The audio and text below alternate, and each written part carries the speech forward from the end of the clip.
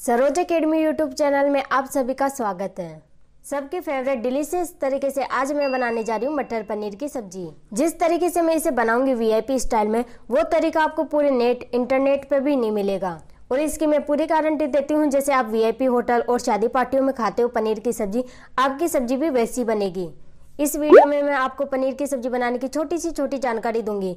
तो इस वीडियो को ध्यान से देखिएगा, सुनिएगा और फिर आप घर पे ट्राई कीजिएगा। अगर आपकी सब्ज़ी अच्छी बने तो फिर आकर मेरे चैनल को फॉलो कीजिएगा। चलो बनाना शुरू करते हैं मटर पनीर की सब्ज़ी। मटर पनीर की सब्ज़ी बनाने के लिए एक के सलाद वाले टमाटर लेंगे। आप सलाद वाले टमाटर की पहचान कैसे करें? ये साइज़ में थोड़े से लंबे होते हैं और इन्हें बेल वाले टमाटर भी कहते हैं। सर्दियों में ये ज़्यादा आते हैं तो ये आपको मार्केट में आसानी से मिल जाएँगे। नॉर्मल पानी वाले टमाटर गोल होते हैं। नॉर्मल पानी वाले टमाटर आपको नहीं लेने। अगर आप नॉर्मल पानी वाले टमाटर लोगे तो आपकी पनीर की सब्ज़ी अच्छे से नहीं बनेगी। वो क्यों नहीं बनेगी, आपको मैं रीजन बताती हूँ। जो हमने यहाँ पर टमाटर कट किए हैं, आप देख सकते हो, इनमें पानी बहुत कम है और नॉर्मल पानी वाले टमाटरों में पानी बहुत ज़्यादा रहता है। इससे हमारी ग्रेवी अच्छे से बनेगी, फटाफट बनेगी और टेस्टी बनेगी। सारे टमाटर को हम बड़ी साइज़ में कट कर लेंगे और एक मिक्सी का जार लेकर इसमें डालेंगे। जार का ढक्कन बंद करके सलाद वाले टमाटर को हम बिल्कुल बारीक पीस लेंगे। टमाटर को हमें बिल्कुल बारीक पीसना है। कहीं से ये टमाटर का टुकड़ा नहीं रहना चाहिए। बिल्कुल हमें इक्वल पीसना है। टमाटर हमारे पीस चुके हैं। टमाटर की प्यूरी बन चुकी है। वन टीस्पून लाल मिर्च पाउडर लेंगे। तीखी लाल मिर्च पाउडर नहीं लेनी, क्योंकि पनीर की सब्ज़ी में तीखा ज़्यादा नहीं होना चाहिए। अगर आपके पास तीखी चिल्ली पाउडर है तो इसकी क्वांटिटी आप वन टीस्पून की जगह हाफ़ टी स्पून कर दीजिएगा। चार बड़े चम्मच सोयाबीन का तेल लेंगे। आप कोई सा भी तेल ले सकते हो, जो आपके पास अवेलेबल हो। इस सब्ज़ी में थोड़ा सा तेल ज़्यादा लगता है तो हम थोड़ा सा तेल ज़्यादा लेंगे। नमक टेस्ट के अकॉर्डिंग हाफ़ टी स्पून जीरा लेंगे। गैस ऑन करके एक पैन लेंगे। पैन को हम हल्का सा गर्म करेंगे। पैन जब हल्का सा गर्म हो जाए, तब हम इसमें तेल ऐड करेंगे। तेल डालने के बाद तेल को भी हम हल्का सा गर्म करेंगे गैस की फ्लेम मीडियम करके। आप इसमें पहले हल्का सा जीरा डालकर भी चेक कर सकते हो कि तेल गर्म हुआ है या नहीं। हमारा तेल इतना गर्म होना चाहिए कि जब हम इसमें जीरा डालें तो वो फटाफट ऊपर आ जाए। तेल गर्म हो चुका है, अब इसमें हम जीरा डालेंगे। जीरा तड़कने लगे, अब हम इसमें टमाटर की प्यूरी ऐड करेंगे।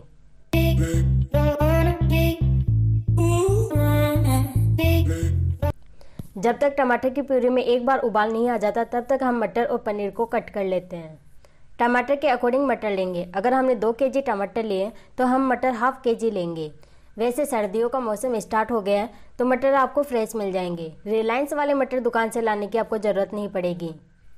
पूरे मटर को छीलकर मैंने दाने निकाल लिए हैं। अगर आपके पास ताज़े मटर ना हो तो आप रिलायंस वाले मटर भी काम में ले सकते हो।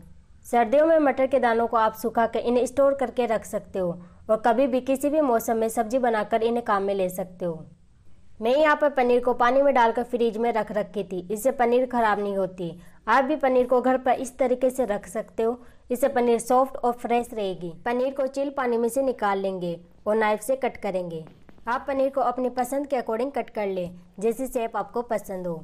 मैं यहाँ पर पनीर को थोड़े बड़े बड़े क्यूब्स में कट कर रही हूँ स्क्वायर शेप में। अगर आपके पास पनीर कम हो तो आप इनकी साइज़ छोटी छोटी कर लीजिएगा। इससे सब्ज़ी में पनीर कम नहीं लगेगी। सारे पनीर को हमने कट कर लिया अब चेक कर लेते हैं हमारी टमाटर की प्यूरी। अभी तक इसमें उबाल नहीं आया है। उबाल आने तक वेट करेंगे।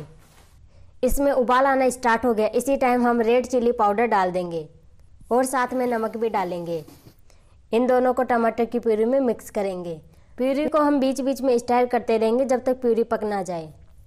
एक बात का ध्यान रखें फ्रेंड्स कभी भी पनीर की सब्ज़ी में लहसुन, प्याज और हल्दी नहीं डलती। आप सोच रहे होंगे कि मैं यहाँ पर हल्दी डालना भूल गई।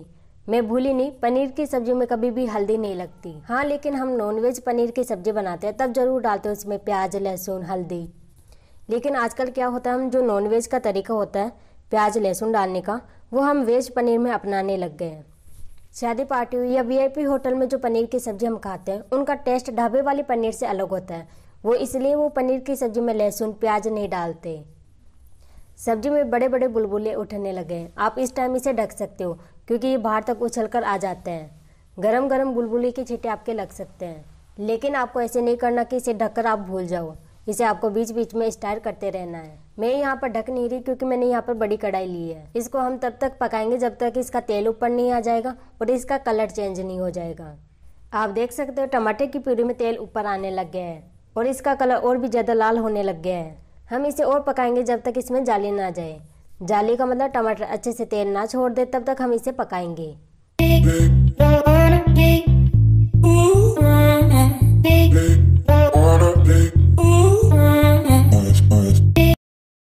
टमाटर प्यूरी में जाली पड़ने लग गई। इसी स्टेज पर हम मटर डालेंगे। मटर को हम ज़्यादा नहीं पकाएँगे ओनली दो मिनट तक पकाएँगे, क्योंकि मटर कच्चे होने की वजह से ये भाप में ही पक जाते हैं।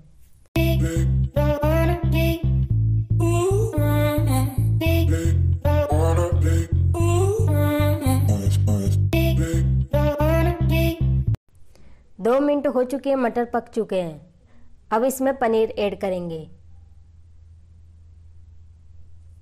पनीर को इसमें मिक्स करने के बाद गैस बंद कर देंगे। टेस्टी, यम्मी मटर पनीर की सब्ज़ी बनकर तैयार हो चुकी है।